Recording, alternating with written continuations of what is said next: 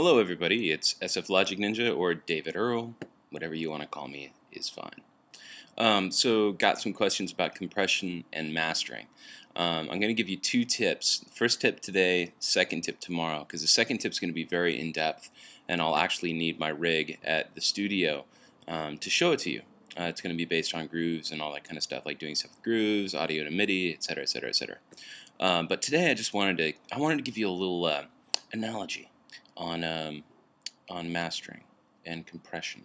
Actually, just compression. Because here's the thing about mastering: unless you are uh, a really awesome engineer and you're really really good at it, um, and you want to go into the art of mastering, I don't suggest doing it.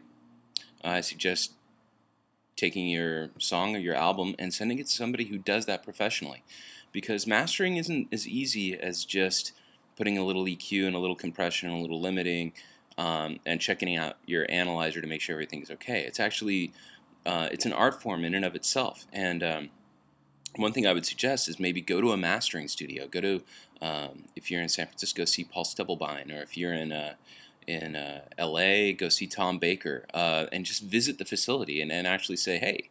Um, I just want to know what mastering's about, and maybe you guys can help me out. A lot of times they'll cut you a really good deal if you're an independent artist and you're not attached to a label. And um, it's a really, if you want to learn about mastering, that's the way to do it.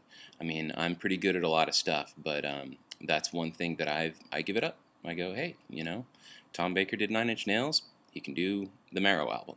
So, um, anyway, uh, hope you guys are having a fantastic new year. And um, here's my little analogy about compression. So, a compressor is like riding in the car with your mom. Now, your mom has a threshold.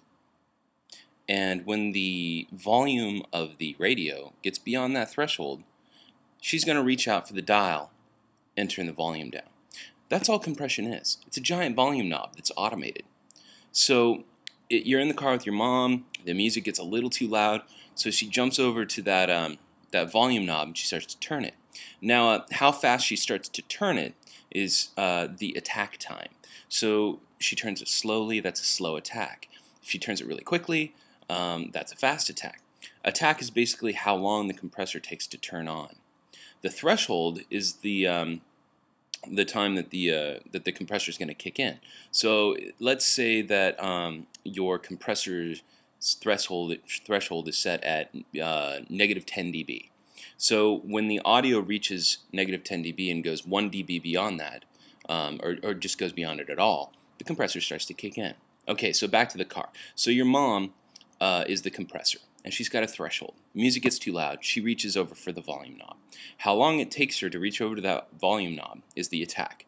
Um, how long it takes for her to return the volume back to its normal state, in other words, turn the volume knob back to where it was, is the release.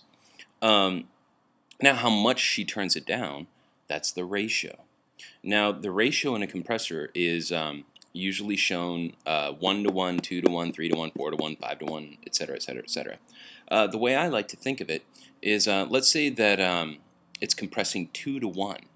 So for every dB that the volume of your material goes past the threshold, it's going to be one half of what it would normally be.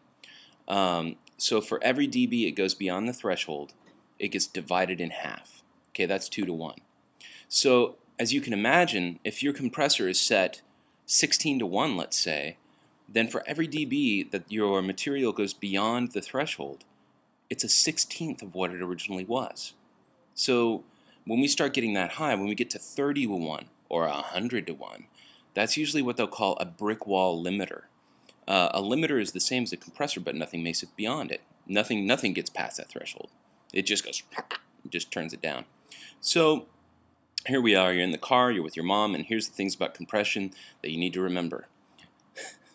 My cat's trying to invade. Um, threshold is when, this, when the compressor is going to start kicking in. Ratio is how much it's going to turn it down. Attack is how long it takes to turn on. Release is how long it takes to let go. And then, um, let's see, attack, ratio, ratio, ratio. So we got threshold is when, ratio is how much, attack is is um, when it's going to kick in, release is when it's going to let go. And then, uh, oh yeah, and then you have something called makeup gain. This is when your mom doesn't come into the picture. Okay, but hi, Sobel. It's my cat. Um, so anyway, uh, the things to remember about a compressor, all compressors have uh, threshold, ratio, attack, release. And if you want to remember what those things do, just remember your mom in the car. Your mom gets a threshold, she gets pissed, she runs over to the volume knob and starts turning it down. Threshold is what time the compressor kicks on. Uh, attack is how long it takes to kick on. Release is how long it takes to let go. And then um, ratio is going to be, uh, like if it says 2 to 1, that means that any dB that it goes beyond is going to be a half of what it was. If it's 4 to 1, it's going to be a quarter of what it was. So what it would normally be going past that that uh, threshold, it's going to be a quarter or a half or a sixteenth or an eighth of what it used to be. Um, hope uh, hope that makes sense to y'all. Um, but uh, that's how I usually like to teach compression. And if people, you know, kind of forget or they need an idea of what's going on, uh, I basically just say that compression is a big automated volume knob, and it kind of acts like your mom. Anyway, uh, hope you guys have a fantastic new year, and I'll probably post the grooves portion of my tip tomorrow. And uh, Happy New Year. Take care. Ciao.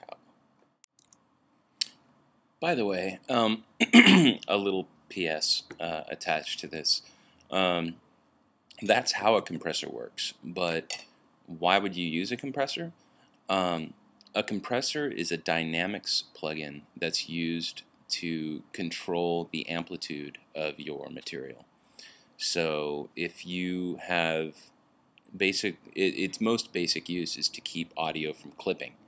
Um, and if you reduce the volume spikes in the material, then that means that the overall volume of the, the material can be brought up. Um, and I'll probably be showing this off uh, later in a video when I have Logic running. But um, I just wanted to kind of add that in at the end because uh, I was a little distracted. My cat was trying to attack me. Um, but anyway, I hope you all have a fantastic new year, and I'll be seeing you probably tomorrow. All right, take care.